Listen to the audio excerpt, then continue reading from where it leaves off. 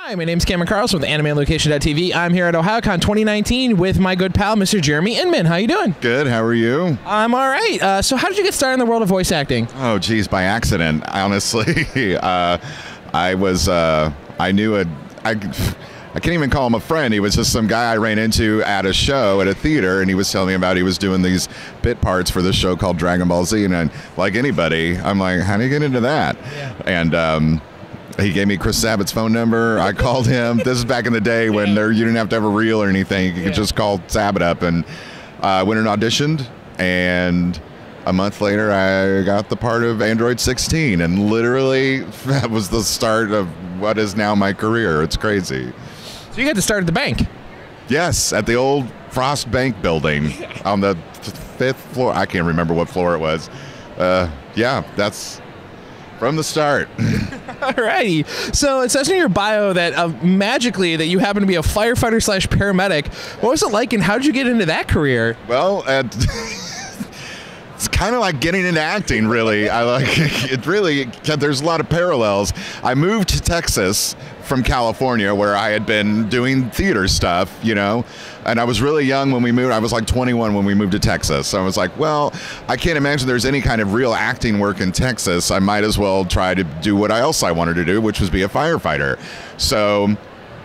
I did that. I, I went through that process. I went through a semester of doing theater at a community college and then went to the fire academy, trained as a hazardous material technician. Oh, really? Yeah. Then went to the fire academy. Uh, and would, to be become a firefighter, you have to test for different cities. So it's kind of like auditioning, but you have to do a physical agility Right. test and carry hoses and crap like that. It worked out. It's like I wasn't looking to become an actor. I did something else with my life, and then I became an actor. So I got the best of both worlds for a while. Uh, that actually reminds me. There's one other famous person that's a firefighter paramedic, and that was uh, the Red Ranger from the original Power Rangers back in the day, Oh, in the '90s. Yeah. And Steve Buscemi. Yeah. Steve Buscemi. Yeah. Yep, yep. Um, now, so you recently happened back in 2017, 2018, work on the smash hit Yuri on Ice being JJ. What was it like knowing how much that show changed the conversation about ice skating and the LGBT issues um, and the overwhelming support you've received from fans over the years? crazy. Let me give you a little behind the curtain. I was working as a contract director uh, when Yuri on Ice came through Funimation, and what usually happens when Funimation divvies up titles is they give uh, you list the contractors and the other full-time directors there uh, a list of shows, and that's the that's the season I got Saga of Tanya the Evil, which is an amazing show, by the way. You should be watching it right now. Um, uh, and Yuri on Ice was on the list, and everybody was like, "What ice skating? Uh, I don't know." I, ev- to my knowledge, everyone just kind of passed on it, and Sonny Strait ended up with it. Right. Um, and then it turned into this huge sleeper hit that nobody saw coming. It was crazy. I got JJ kind of almost by accident. Uh, I was walking into Sonny's studio to invite him to go have drinks at this place called the Drunken Donkey, Yeah. and then the rest is history. So, uh, but sorry, there were other issues you were asking me about, but that's always fun. LGBT. Oh, yeah. LGBT issues. Uh, yeah, that's great. I don't happen to be LGBT myself, but um, I think it's really it's been really powerful to see a community rally behind a show like that and kind of mainstream it even more. Yeah. You know what I mean? Uh, along with ice skating, um, my my girlfriend happens to be an almost pro ice skater, so. Because uh, actually, a lot of uh, Olympic skaters actually did um, perform Yes. sets from those songs. Yes, yes, that was amazing at the Winter Olympics. Yeah, that was uh, the, the, one of the American. Uh, what was his name? But it, we were twittering back and forth. Twittering, that's what you call it, right? Yeah. Jesus, I'm sorry. It's all right. So, um, and again, it's a show that I love and makes me cry every time. And I've had the chance to talk to Sonny and Jerry and Josh and talk to all of them and just get a lot of love from them. And I tell them all the time it makes me cry. So I've watched it two, twice, like, literally back to back sometimes. Uh, now, again, going back to your original start as being Android 16, there's a new movie coming out uh, with Broly, and you had the opportunity to work on the uh, fighting game Dragon Ball FighterZ. Uh, what's it been like to be Android 16 now for over 19 years? no, uh, it makes me feel so ancient. somebody, um, somebody asked me how long you been voice acting, and I said 19 years without even. And then it's like 19 years, and then it hits. It's like a oh, jeez, wow. Uh, it's been life changing. I didn't, get, like I said, I auditioned almost by accident, uh, and now I'm a full time director at Funimation. So you can't really ask for more of a life altering decision. But uh, yeah, it's been crazy. It's been amazing. My favorite is that uh, I happen to also know a lot of the guys at Team Four Star, and I always still love how they re- redo you whenever they have to. Goku, birds. birds and whatnots, and let's get a drink. How about that? Take that four star. I could still do joke Android 16 better than you. No, you're currently working on. You were currently working on the hit My Hero Academia as Megan. Uh, meet. Magne. Thank you. Uh, how has that been going for you and the fan response to that character? It's been going good. I actually love his voice, and I'm really, I, I guess Colleen uh, Clinkenbeard, the director, liked it too. It's um, but there's so much little. I can't say so much, but there's just enough of Ed Wynn in it. It's like just a little flavor, I think, that I really love. Uh, like any actor, it's like he needs to be in that show more. Just because I love doing his voice so much, it's funny. Or, yeah, but he's uh, he's an interesting character. He's just got a interesting look to him. He's fun. Alrighty, and now you also now started directing at Funimation, as we discussed, working on uh, Golden uh, Kami Kumi Kamui. Thank you, and uh, ReLIFE, two titles that uh, fans have really enjoyed. What's it been like for you, and learning new skills to bring back to your side of the glass when you go back to do voice acting? Yeah, it's amazing how much. Like I always said, uh, I'm a better voice director than I am voice actor. For sure. Uh, when I was just contract directing after I left the fire department, I got into other forms of directing film and television, like first AD work. I directed a TV show, different things. So, uh, but it has made directing anime or voice the d- voice dub of anime uh, has definitely made me a better voice actor. That's for sure. For sure. I mean, I spent a good 10 years out of that 19 just kind of, maybe they'll cast me. I don't know. You know, just ruining it. Well, dovetailing off of that, you talked about being a first AD.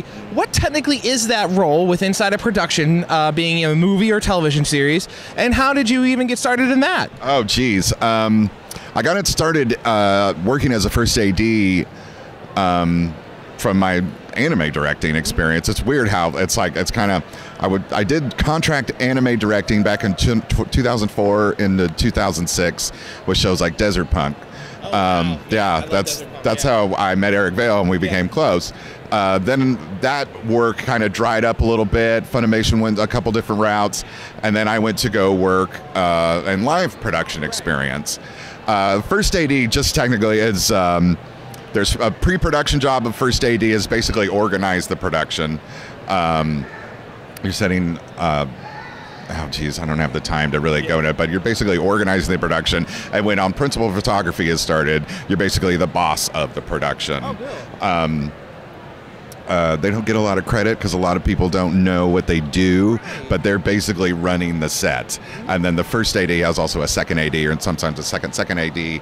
Uh, they handle things like if it's a big production, like extras. Like if this was a huge set, and these were all extras at a film about an anime con, the second AD and the first AD would be. That's what a first AD does. And I got into that. Um, God, how much time do you got? Jeez, I got hired on to do a movie uh, that uh, Academy Award winning special effects artist was on, and I got hired on as a script supervisor. Uh, with the guys that one of the producers was going to be the actual first AD on set, but he was never there. So, so um, was it? It's not. So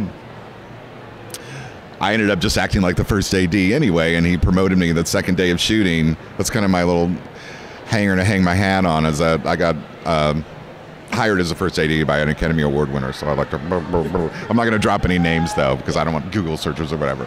Um, and then I did. Uh, I worked another movie as a first AD and a television show. But anyway, yeah, it's a really good job. I always, it's, I used to do production industry panels at these anime cons to talk about the different jobs because people.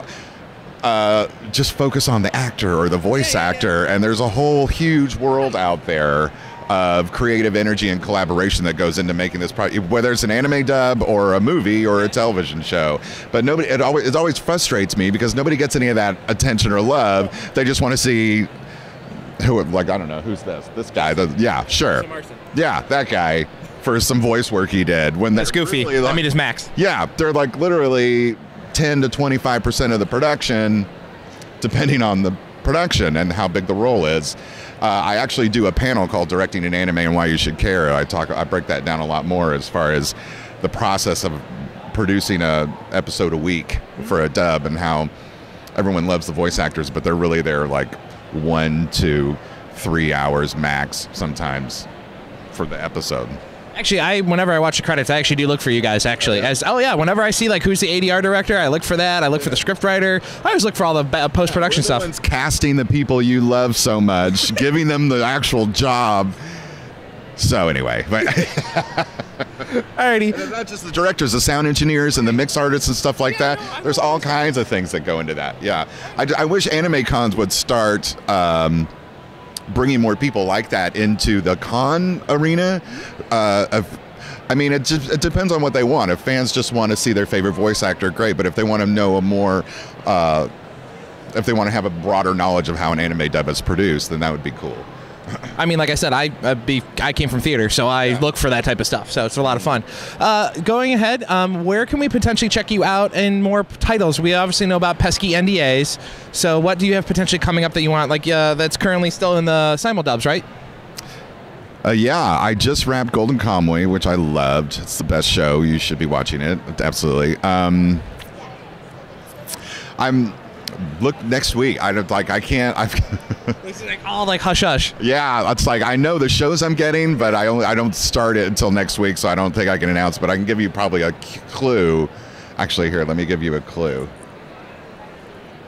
This cat right here. Riding a cowboy. Uh, This is your clue. This is your clue yeah. With as far as my next show. Directing wise, I'm not really. I don't think I'm casting anything right now. I don't know who I want. yeah, I just- I gotta get that information on Monday morning. yeah, yeah. I got to get back to work Monday and cast everything. Yeah. Yeah. Uh, we talked to Jerry about that actually. Uh, yeah, yeah. So uh, going forward, uh, where can we catch you online? And a final message to the fans that have been keeping up with you now for over 19 years. God, have they though? I have. Okay. um, find me on Twitter. It's like at Inman Jeremy or at Jeremy Inman. I can't ever remember. Let me look real quick. I don't know. Hold on. I think, yeah, just at something. That I spend. Uh, I don't spend a lot of time on Facebook. I have a Facebook page. Um, oh, geez, come on, load. Yeah, at Inman Jeremy. Um, I have a Facebook voice actor page called uh, Jeremy Inman Voice Actor slash Director. So go ahead and find me on that if you want. Um, uh oh, here we go. Ohio shoppers. And that's really my only social media presence right now. I'm on Instagram if you guys are doing that. At Jeremy Inman. It's not hard. Alrighty, and a, and a message you want to give to the fans that have been watching now for over 19 years. Oh, thank you. I guess. Thank you for this career I never thought I would have. I didn't know what anime was until I got Android 16 and now this is this is my life now. So, thank you. Again, Jeremy, it's been a pleasure, my friend. Thank you so much. Thanks for having me.